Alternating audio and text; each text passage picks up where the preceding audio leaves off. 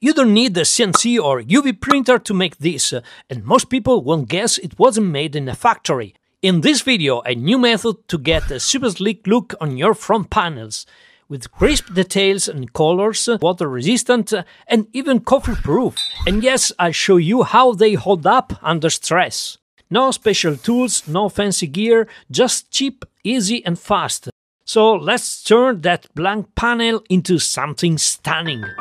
As usual, the first step is preparing your design. I'm using Inkscape, but any vector software you like will do the trick. Just make sure it can set measurements in millimeters. We are not printing t-shirts here. Keep in mind your panel size, drill holes and labeling, it all starts here.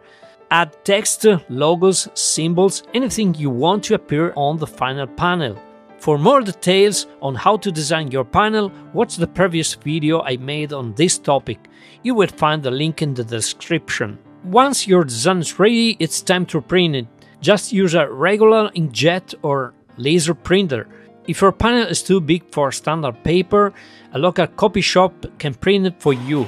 Make sure you print at 100% scale, no fit to page or automatic resizing, or your holes won't line up.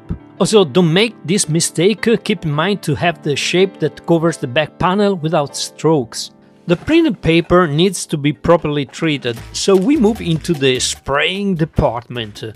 You need a transparent satin finish acrylic spray varnish and one opaque white acrylic spray paint.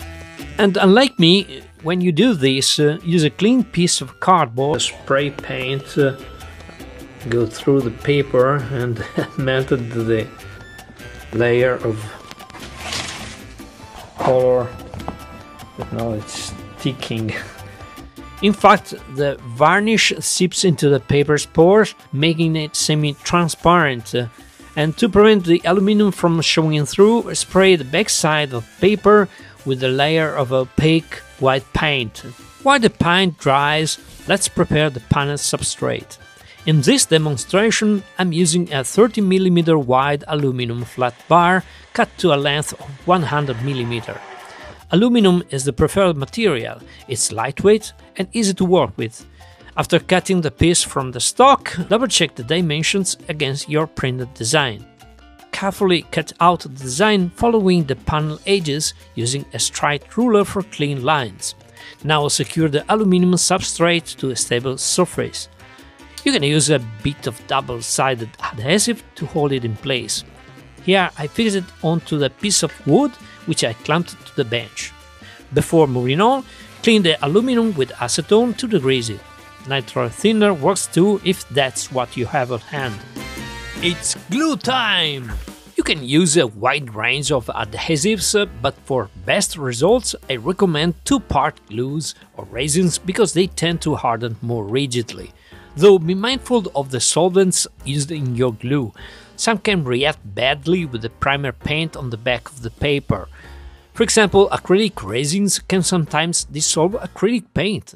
You could also use two-part polyurethanic white paint as an adhesive, since it's essentially a resin. Anyway, when in doubt, do a test first. Now, the cutout design is ready to be attached to the substrate. Make sure it's properly aligned with the edges. Start pressing from the center and work your way out toward the edges. This helps avoid eye bubbles. Don't force the paper into place or it may stretch. This is especially important with thinner paper. And speaking of paper, while standard inkjet paper is typically 80 grams per square meter, you might want to go thinner for this project. A 55 gram per square meter paper works better as it creates a thinner layer, which reduces the risk of exfoliation at the edges. As an alternative, you can use self-adhesive paper, but uh, when you spray with the varnish, uh, it becomes a little bit transparent, as you can see here, in respect from here. Here has been not spread and here has been spread. And uh, it is a little bit less rigid. The glue is a little bit less rigid. So yeah. And you can even glue onion skin paper like this. And of course it, it is transparent uh, so you will see through the aluminum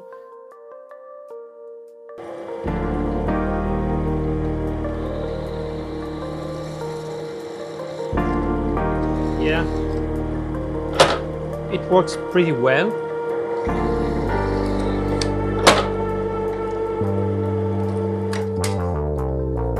Yeah, it's good for drilling and uh, it, it, creates a very little burr and um, the only drawback is that it does not adhere very well. It doesn't bond very well with the glue for some reason. Uh, I have to say that this is a fast uh, dry, fast setting glue. Uh, it is okay for making a video because it is fast, but uh, it takes some days to, to cure completely and be, to become really hard. So at the beginning it is a little bit sticky and uh, and soft, uh, so it is so it is easier to peel off. And talking about polyester self-adhesive uh, sheet, it is uh, nice. It can be printed from a print shop, but uh, yeah, you know, the feeling is that of uh, like a bumper sticker.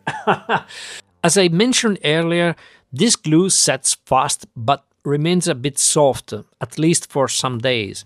So I'm not sure if it was because I didn't spread it very well or just because the glue was still soft, but when I tested the adhesion at the corners, it gave way slightly, causing a tiny bit of detachment. However, on the other corners, I found it impossible to detach it using my nails. Before drilling the holes, let's give the panel one more pass with the spray varnish. This is the second of the three passes. Once that's dry, you can drill directly into the almost finished panel. Just be careful not to stain the surface with oil or cutting fluids. And when drilling larger holes, here's a handy trick I learned. That red thing is a small piece of cloth which helps preventing vibrations, so we get a smoother cut. Also, make sure to keep the drill bit clean because bit up swarf can scratch your pristine new panel. For big holes, using an intermediate protective sheet is a must, but for small holes like these, it can be done directly. Just take your time with a file and a bit of patience. Drilling will leave small paper burrs around the holes, kind of like when you drill into wood. Thinner paper would left fewer burrs. Anyway, they are easy to clean up. Just press the burrs toward the hole with your nail and then trim the excess with a sharp knife. When filing, just do the same and use the file to get them away. As you can see, the result already looks pretty nice. Now give it a final pass of spray varnish to seal the edges, especially around the holes. Okay, look at these little bubbles I sneezed while spraying. now let's put this sample through a little stress test. You can rub it with your fingers or even a screwdriver and uh, it won't get significantly damaged. As mentioned earlier, the corners are the weakest point, uh, especially when using a softer glue. Here I managed to peel one up, though I have to say it did take a fair bit of effort. Also worth noting, the spray varnish isn't resistant to solvents. To make it solvent proof, you can apply a coat of liquid transparent epoxy.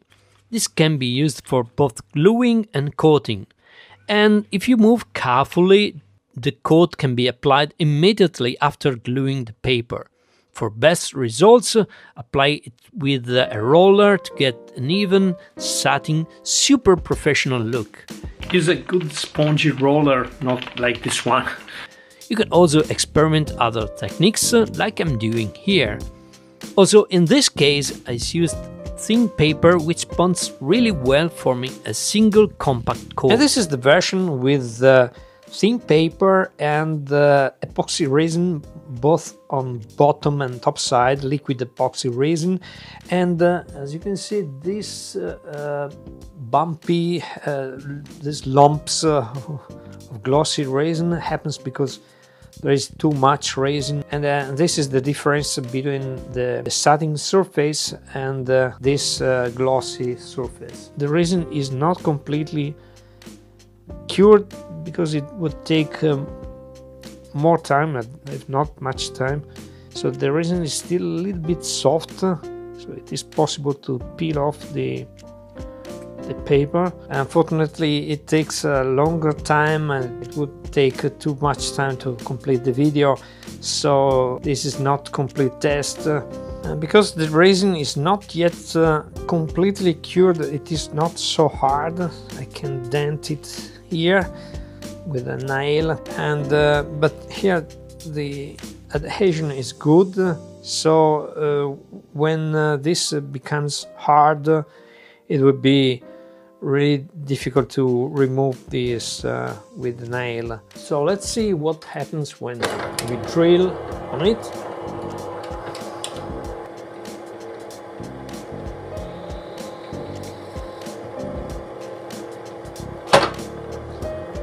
Cuts very well. There's a little burr.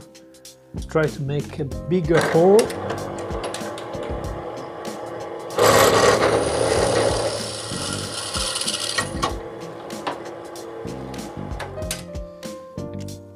right? Yeah, there's a little bit of burrs, less than the, the thicker paper. Even without the extra epoxy coating, the panel is already waterproof. It can handle immersion up to 5 minutes at room temperature.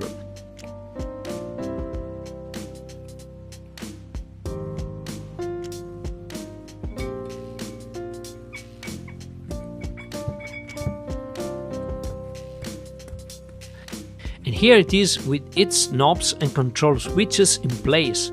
Super cool and it looks really high-end. Doesn't it look like uh, it just come off a production line, right? If you enjoyed this build, give it a thumbs up and if you want more, consider to support giving a super thanks because you know making videos is expensive and time consuming. Also, check the description for the link to the previous tutorial I mentioned earlier, or visit my website at accidentalscience.com. I'm building something new and uh, you could be the first to know. Subscribe to my newsletter for early updates and special access as things unfold. On my website, uh, click Stay Up to Date, enter your email and an optional password, and you are in.